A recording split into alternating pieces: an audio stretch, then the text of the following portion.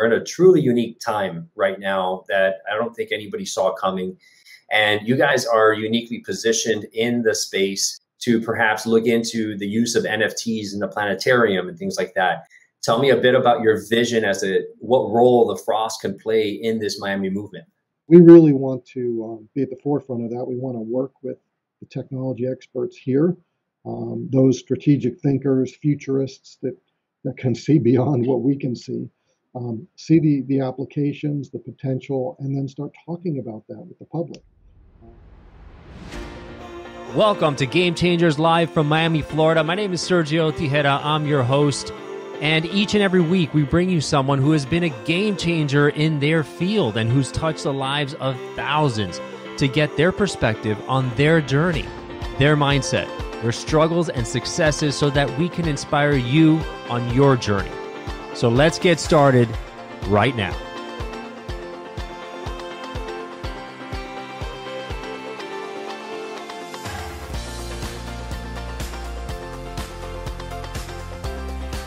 Today's episode is about the Frost Museum of Science located here in beautiful Miami, Florida. And my guest today is none other than CEO of the Frost Science Museum, Mr. Frank Steslow. And this museum, if you haven't been here, is an absolute work of art, providing education in a beautiful location using state of the art technology and hands on activities. As you can see here, the planetarium is spectacular with some amazing, amazing technology. An aquarium that is second to none, absolutely unbelievable. So enjoy this episode with Mr. Frank Steslow. And thank you so much for being a fan and subscriber to Game Changers Live, which is now a top 2% podcast globally. Enjoy the episode. Here we go.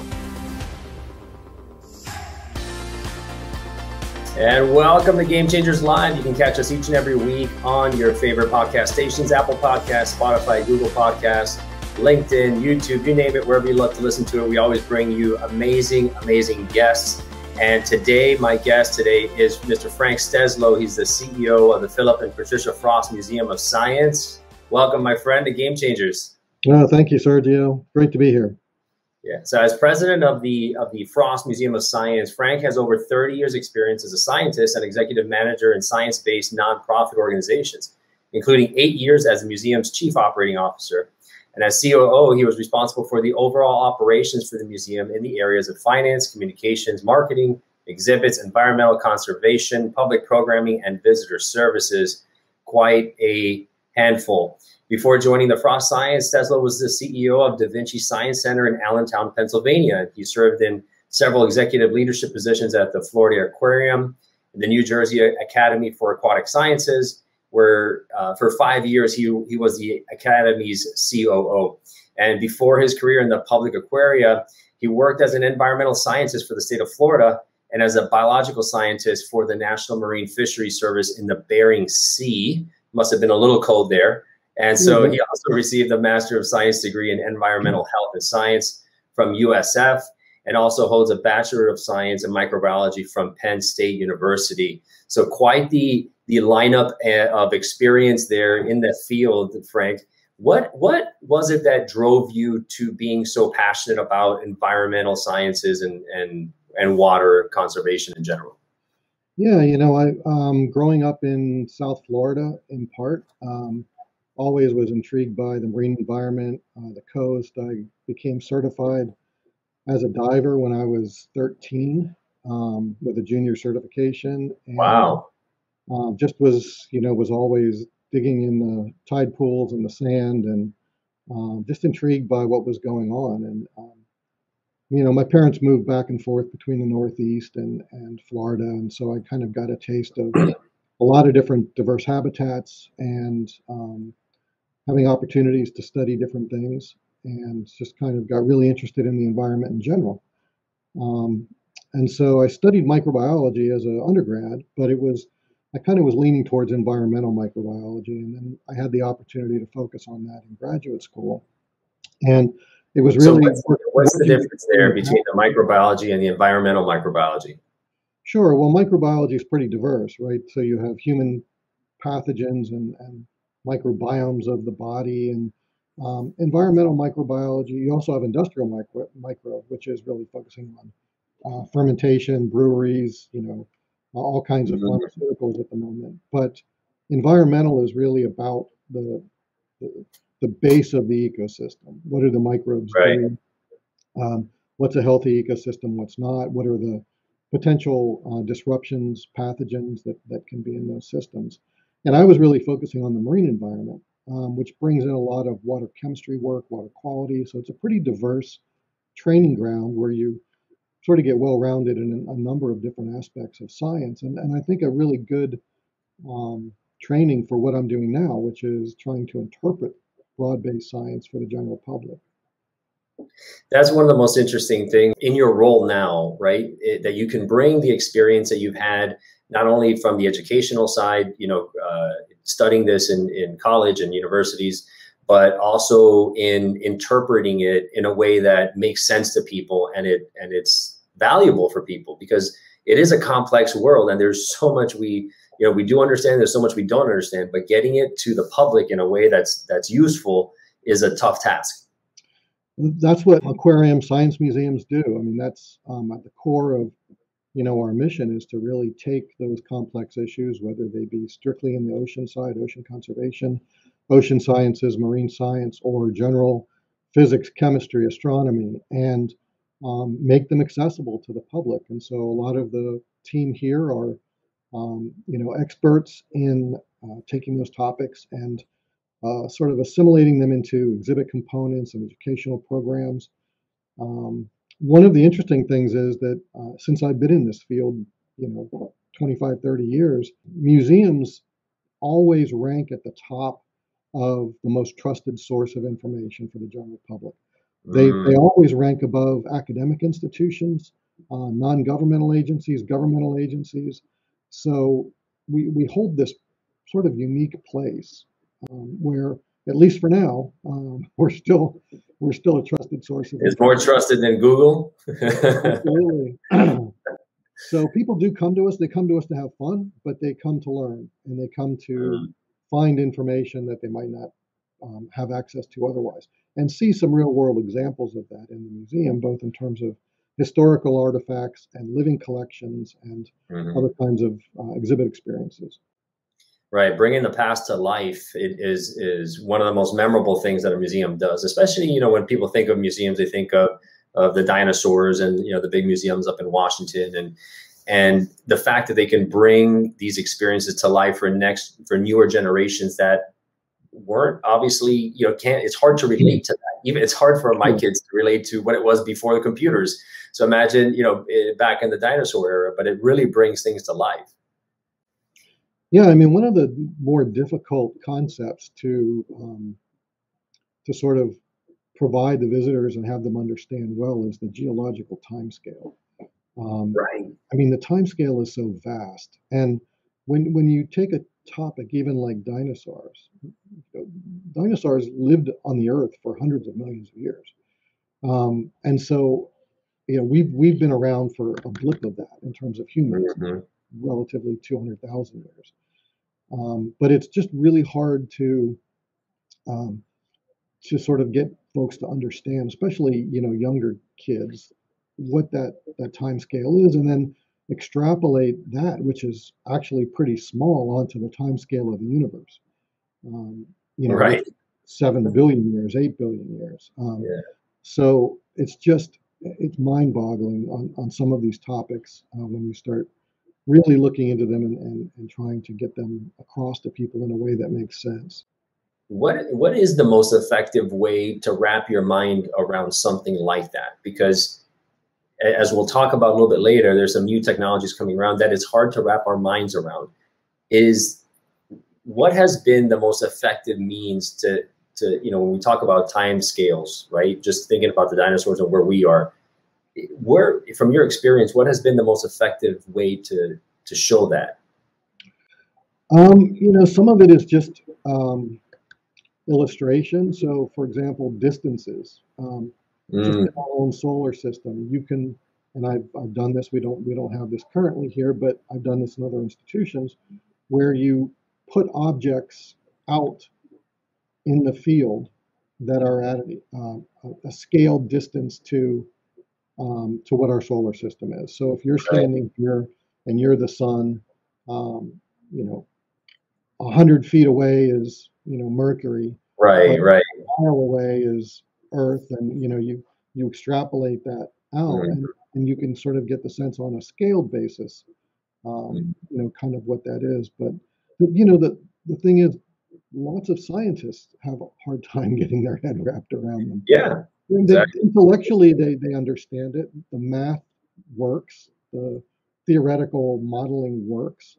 But when you start trying to think about it in practical terms, um, it's still, I think it's difficult for lots of people. I think we, we try to compartmentalize things in a box, right? That we can kind sure. of see and understand. and sometimes it's difficult. So Miami has not, you know, if you look at Miami from the 80s, you know, up until the early 2000s, didn't have a past that was rich in in art, in museums, in, in culture, and things like that. And that has changed dramatically. So tell, tell me a bit about that. Yeah, it's exploded. I mean, truly, with um, with us opening the, this new museum here almost five years ago, and Perez Art Museum next door, and lots of other facilities that have either opened or refreshed or moved. Um, I think the cultural landscape here in Miami Dade County is richer than, um, and has the potential to be richer than lots of other uh, cities of its size. Clearly, you know, large cities with institutions that are hundreds of years old, we've got a ways to go before we can build up to those scales um, in terms of quantity and, and size of institutions. But I think given the, the sort of age of Miami and, and the renaissance of the cultural facilities, it's um, it's it's pretty robust for, for its its size and age. And for those of you who haven't been out there, the, the Philip and Patricia Frost Museum of Science is not only uh, geographically a centerpiece, you know, in terms of where it's located, it's probably one of the most you know, prime pieces of real estate in South Florida, and it's gorgeous right on the water. But it is architecturally, it is amazing. I mean, it is gorgeous. If you haven't seen uh, both the outside and, and especially the inside of the aquarium, what was that process like? You know, when when you're kind of building this out. Sure, it was um, it was a great process to go through, and I've built a few facilities um, and been part of those processes. We worked with a um, architect um, it, it's a UK based firm called uh, Grimshaw Associates.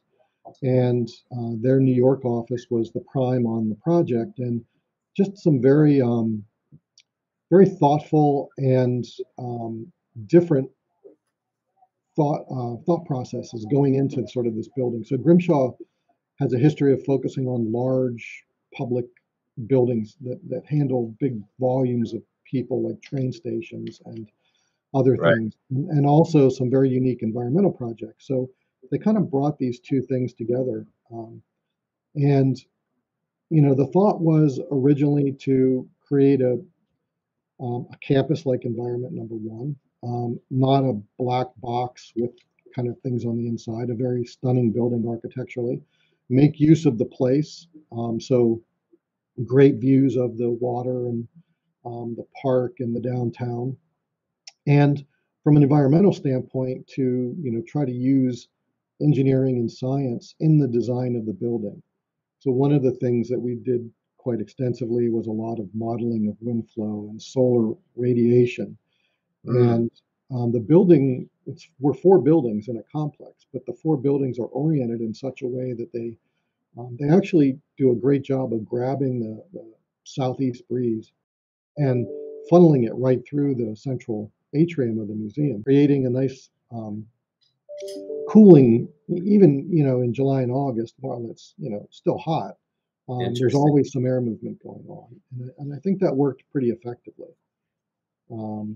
So that was one of the aspects. We we wanted the aquarium to focus on South Florida, and the aquarium is it's more than just an aquarium and an entertainment piece. It's really the entry point into science for a lot of people. It's um, mm. nobody feels threatened by fish. Um, maybe if there's some fish, perhaps. Um, you know, for the most part, it's a topic that people are comfortable with, and so yeah. marine science and the aquarium allows you to bring people into science and expand their knowledge base and also talk about things like water chemistry and math and physics and how that pertains to waves and currents. Um, so it's a great tool um, that, that just, I think, makes us more accessible than a science museum without an aquarium. And you guys do a lot of outreach outside of those walls that a lot of people don't know about. We were just having a conversation offline, and I was shocked to, to hear of all the amazing things you do, both not only in South Florida, but overseas as well. Tell me a little bit about that. Yeah, so we've been trying to, um, I mean, the, the, organization for a long time has a history of uh, informal science educational research. So understanding how people learn, what's the best way to teach science. And um, we have a lot of programs that kind of were um, offshoots of, of some of that original research. So we we have a, a, internationally distributed preschool science curriculum that was developed and tested here in Miami uh, through monies from the National Science Foundation. Very robustly tested, studied for efficacy, and we rolled it out here. We trained um, Head Start and preschool teachers. Uh, we published this whole set of activities and, and curriculum, and we now sell it and distribute it uh, internationally. And it's not too early, you know, in, in preschool to, to start getting uh, young children to start thinking critically, absolutely, understanding the natural world around them and developing a curiosity. So that's one program. Um, we have other uh, programs where we work with disadvantaged, underserved populations here in Miami um, which is a smaller group of, of individuals, but we are with them for three or four years, um, trying to get them to um, uh, uh, college readiness and also to prepare and hopefully uh, be interested in careers in STEM. Um, STEM, you know, is, is so important to Miami right now with everything that's going on in the technology sector.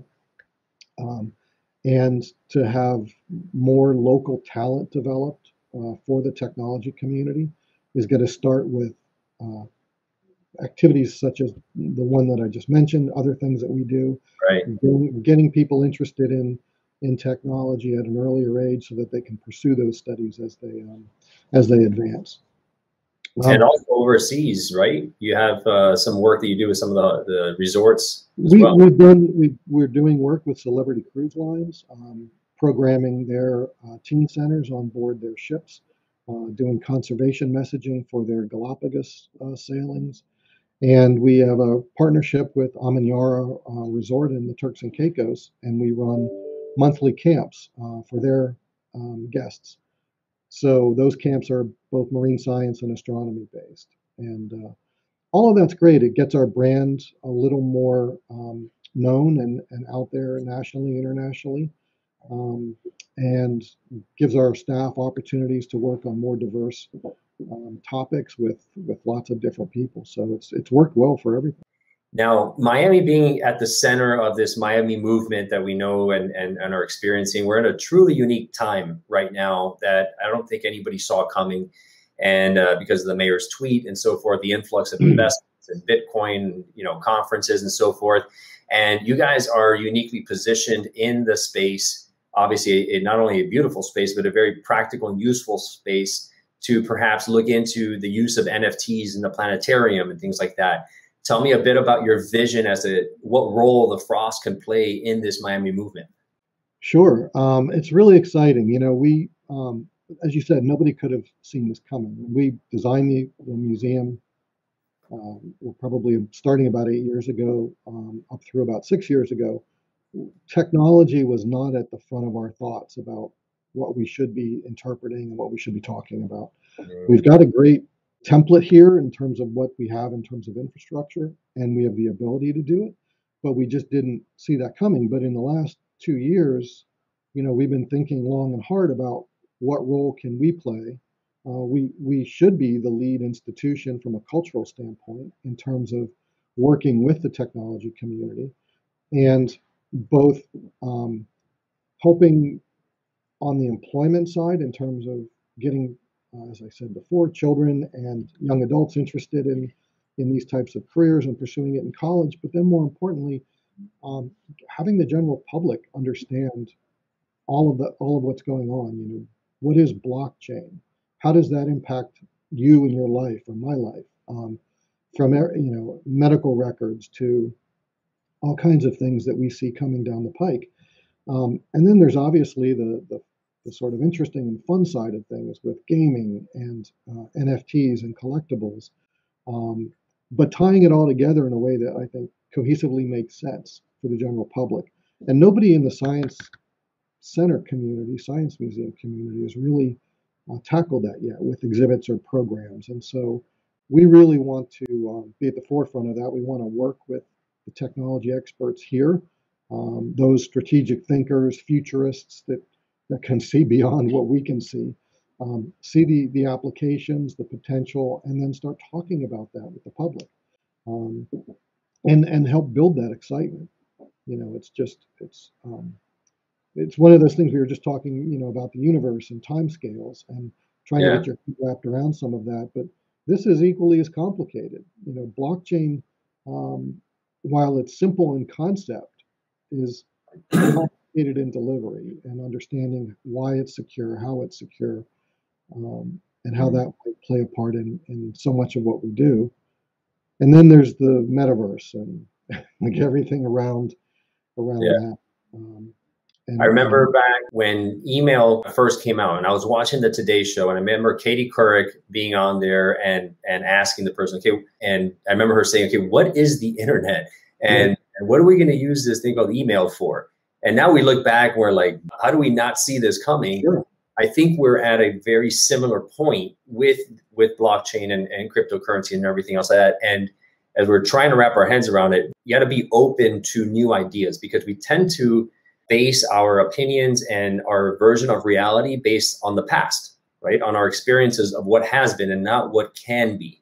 And it's hard to kind of bring down those barriers sometimes. So I think, you know, number one, you're on the right path in terms of bringing this educational component to the frost because it's probably the, you know, the most uh, central and, and most responsible place to, to do it um, because people need to understand their role in it and, and how it's going to impact because it already is impacting their lives.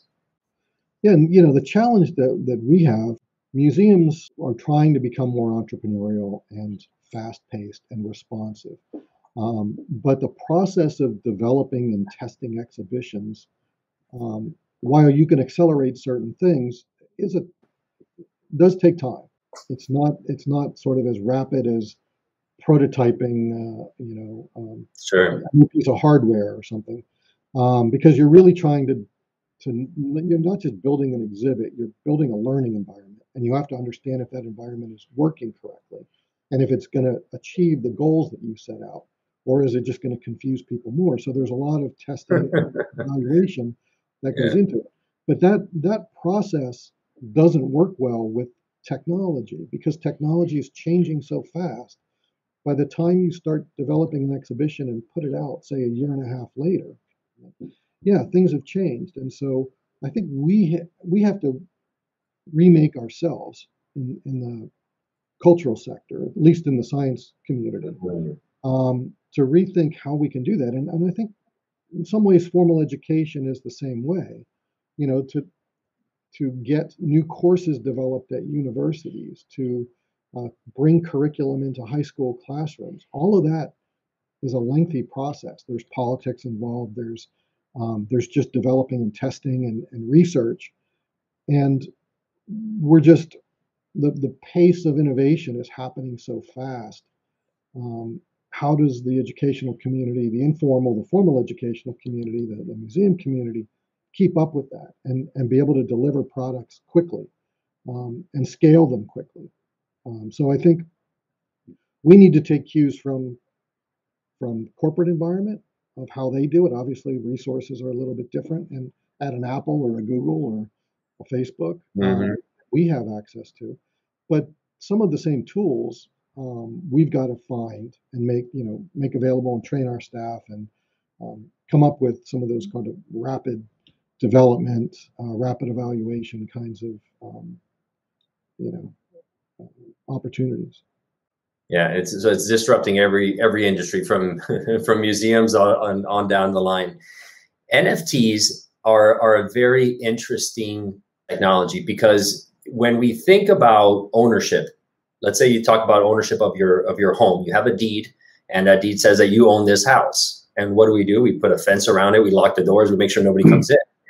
Versus if you own a digital asset, you want it to be shared. You want as many copies of it to be put, you know, put on other people's computers.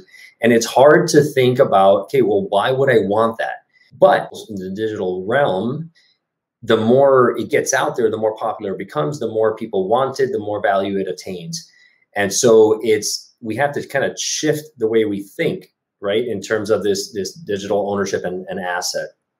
And you guys have an amazing space in the planetarium, for example, whereby you know there is this possibility of having this kind of augmented reality or immersive experience with nfts and that doesn't exist in, in today's world not yet at least yeah that's one of the ideas we're working on um, you know to try to take the planetarium which is our most technologically advanced space um, so it's a you know half dome 8k resolution theater five projectors 18 servers running all these crazy processors, uh, 3D capable. And how do you take that technology and um, blend it with the NFT um, crowd and be able to display NFTs, work around programs with NFTs, develop special NFTs that are just specific to that kind of technology, um, where you'd have to actually be in an immersive space like that to truly appreciate them. Um, so the, that's that's certainly on the horizon. We also uh, the the building was designed to project on the outside of the dome of the planetarium. Mm. That's why it's a white concrete matte finished surface, and we have infrastructure in place to be able to do that. We just didn't have the funding originally to procure the actual projectors and servers and technology uh, to project onto the outside of the dome. Um, but that's an opportunity that would be in full public view in the evenings. Um, should we be able to uh, to fund that? The, the, the interesting thing though is in the five years since we've been open, the technology on LEDs has changed, and now there are LEDs that are able to be put outside, high resolution. You could cover the entire surface of the dome with LEDs rather than project on it. Mm. You can choose the resolution and depending on how closely the, the pixels are together, right. individual LED elements. And you can create some really spectacular um, things now that you couldn't do before. Now that's still pricier than projection, but it's an exciting um, wow. Way of thinking about it because it, it with the projection you're limited by where the projectors can be mounted and throw, and you're sure. not really getting a full uh, coverage of a, of a sphere whereas this would completely cover the sphere. Um, brighter, so easier, more visible in daylight and dusk. Um, and there's a massive project going in in Las Vegas, uh, which is a um, several thousand seat venue that is a dome, and the outside of the dome and the inside of the dome are all LEDs. Wow! It's going to be opening, I think, in the next uh, 12 months, but that's the, sort of the, the big proof of concept about what's what's possible. And you guys just recently purchased at Art Basel your first NFT. Is that right? Of a, of a we, dynasty? We actually we didn't get it at Basel. Um, it was actually donated to us uh, oh, by the artist who's uh, working with um, one of the um, I'd say more active paleontologists in the field working um, on some dinosaur digs and uh, they they collaborated and produced these 10 NFTs and donated them to 10 different museums. Um, so we have one of them. Um, they're all different. Uh, they're in a series, and um, we're excited to have it. I haven't figured out exactly what we're doing with it yet. To have ownership of it, and and dinosaurs, by the way, are is another content area that we want to move into. Mm-hmm. Um, we're working hard to try to secure some specimens. So um, bringing you know permanent dinosaur collection to Miami is another thing at the top of the list. Well, you guys are doing some amazing things there in that space. And you know, for those of you out there listening, I think one of the best ways to learn is by doing. And right now, you can go out and you know purchase your your own NFT and just start getting hmm. involved that's probably the best way to, to start learning about it and, and seeing how it's going to impact your life. And make sure to go out to the to the Frost Museum. Uh, like I said, if you haven't been there, it is unbelievably beautiful, and it's just a state of the art facility, work of art as well, that you can take your family and your friends to and have a great time there uh, with a beautiful view. And go say hi to Frank; he'll be there. He's there 24 hours a day. So no, just kidding. uh, he does work hard. That is a facility that's practically it's open 24 hours a day in a sense, not to the public, but it's operational. Absolutely, yeah. Because of the aquarium, um, we have staff here around the clock. We are open to the public 365 days a year. Um, so we're open Thanksgiving, we're open Christmas. Um, our hours change with the seasons to try to accommodate more more guests when we have more opportunity. So this coming up this um, this Christmas season, we'll have extended hours going into the evenings. Um, and right now we have uh, two special exhibitions. One is a smaller exhibition we just opened on uh, woolly mammoth, where we have a large subadult mammoth skeleton on display and some information about the ice age and the time of the mammoths. Uh, we also have a major traveling exhibition um, on skin, which goes through sort of the biology of skin and fur and animals and humans, um, and a little bit about um, skin from a social science standpoint with skin color and diversity and, and other things. So it's it's a pretty timely exhibition, and that'll be here through April. And then we have a blockbuster exhibit coming for the summer called Sherlock Holmes, um, which is a crime scene investigation type exhibit, but it's putting you back in the time of uh, Sherlock Holmes. So we're, we're excited to have that this, this coming summer. That's going to be fun. Frank, CEO of the Phillip and Patricia Frost Museum of Science. Definitely check them out. You can go to frostscience.org uh, and be sure to visit. Thank you, my friend. You guys are doing some amazing stuff. Thank you, Sergio. Very much appreciate it. If you loved what you heard in today's episode of Game Changers, please subscribe and rate us. The lessons and the stories in these podcasts are immensely valuable, so I invite you to share them with a friend who needs to hear it. You may end up being the game changer in their lives.